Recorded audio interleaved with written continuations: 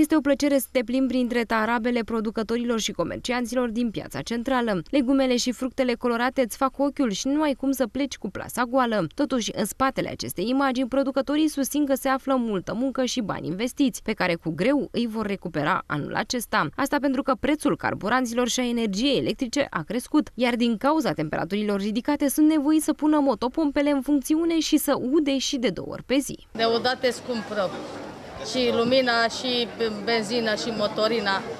Îți vine vreo 20 de milioane numai la un teren. De câte ori ușați? Păi de fiecare zi. Și seara și dimineața, în fiecare zi următoarele. Că n-ai. Acu uzi, acu e, acu e uscat. De câte ori sunteți nevoite să udați în perioada asta? Uh, udăm și zilnic. Da. Și în alte perioadă? Uh, de, depinde de temperatură. Udăm. Da. Dacă e canicul acum, în fiecare zi. Aveți pierderi imense. Avem pierderi, da.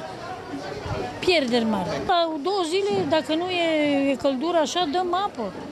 Dacă nu, toată ziua, toată ziua, în arșiță și în, cu apă udăm și chinuială și vai de steaua noastră.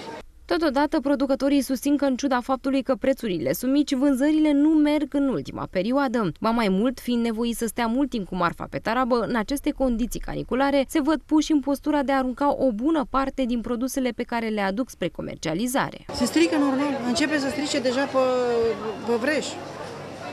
Ce să facem, nu știu, săptămâna asta nu știu încotro să o iau cu... Și ieftine, le dăm ieftine. Se strică și pe câmp și aici. Cât aruncați zilnic? Aruncăm mai mult. Luăm nici un sfert nu luăm din el. Aruncăm mult, mult. Pe câmp se strică. Avem muscă, avem uh, tut, avem de toate națiile aduse din alte țări, de toate țânțari. Musculiță neagră, musculiță albă, unde ne confruntăm. Mănâncă frunza, mănâncă totul. Este foarte greu. Murim de căldură, nu avem aer, nu avem condiții, uitați în ce condiții stăm. Marfa se distruge. Seara adunăm gălbituri de verdeață, galbenă, o aruncăm, roșiile, uitați, s-au muiat. Aveți pierderi imense. Avem pierderi, da. Pierderi mari. Pe câmp e... A mai plouat un pic acum, să zicem că și-a mai revenit. Dar e căldură, căldură, stau copii în căldură, soare puternic.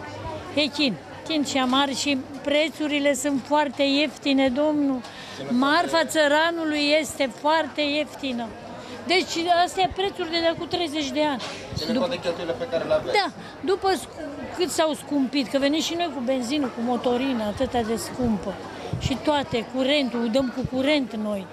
Iar veștile de la meteorologi nu sunt tocmai îmbucurătoare. România se va confrunta și în perioada următoare fie cu temperaturi caniculare, fie cu furtuni și vijelii.